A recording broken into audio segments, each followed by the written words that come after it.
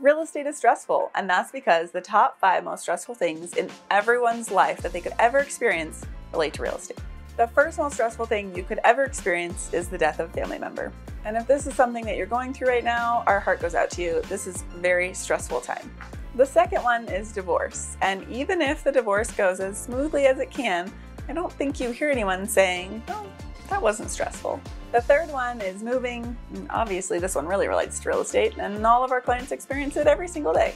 The fourth one is a job change, and it doesn't matter if you're getting a promotion, moving companies, or even moving states. There's a lot of change going on, and that adds to a lot of stress.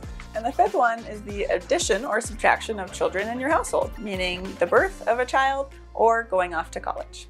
When it comes to these five most stressful things, eventually they all relate to real estate. And even after they've happened, you might be stressed or having to get back to normal, and it could take anywhere from 18 to even 24 months to adjust.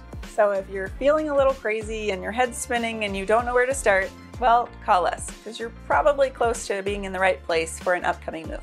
Some people want to wait until life starts to feel normal again, and just know it might take a lot of time, and a brand new space might be exactly what you need. Message us the word MOVE today, and we'll help guide you through all the stressful things that you're experiencing and get you into your next beautiful home.